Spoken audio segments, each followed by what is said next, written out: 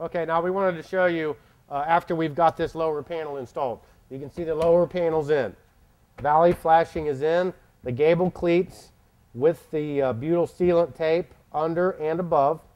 Uh, and also notice that uh, we've extended the lower panel 12 inches up past where the higher panel is going to be. The higher panel is going to hem here, 12 inches of coverage underneath there. That's uh, uh, very important for any kind of, of an overlap. Also, uh, the, the, center of the valley flashing, this is optional. If you want to close this off, uh, you can put a cut in it, do a couple folds to close that off uh, to keep bugs, debris, anything from getting up underneath the valley. Also, if you want to introduce heat trace uh, in your valleys, um, the best place to put that is actually underneath the valley. Uh, it'll heat up the valley metal. It'll keep ice, snow from forming. Also, um, you don't have any issues with snow and ice trying to rip this off if you've got it mounted on the top. So we would recommend putting that underneath. Also notice that we have six inches open in the center of our, our valley.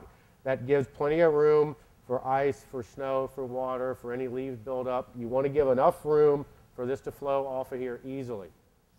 All right, now notice on the valley cleats that we've stopped our screw just short of the, the, the panel. You want to make sure that you don't put a screw that's going to catch the panel and the plywood and it's going to fix the panel in place. We still want this panel to be able to move. Now, how this panel gets fixed is by the upper panel that Steve's going to bring over. Now, a couple things with this. Notice we've got it hemmed. And what you're going to do, you're going to hook it on this cleat. All right, now, when we cut this part out, what we did, that allows the upper panel to snap and, and grab the previous panel.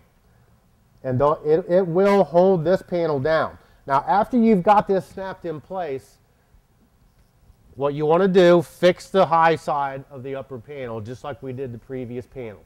They always must be fixed at the high side. Now, we want these two panels working as one unit. We don't want them moving independently. Uh, uh, and, and, a way to fix this panel is to attach it to this, which is fixed at the top. Now, once you snap this in place, put some pop rivets I would put one every two inches. You want to get at least five or six of them in that 12 inch run. Pop rivet the seams together. Now make sure that you pop rivet on the lower portion. You don't want to get any penetrations where your sealant is. That way, uh, if any water gets into your pop rivet, you've still maintained your seal. Water will come out of the, uh, out of the seam and run down the panel.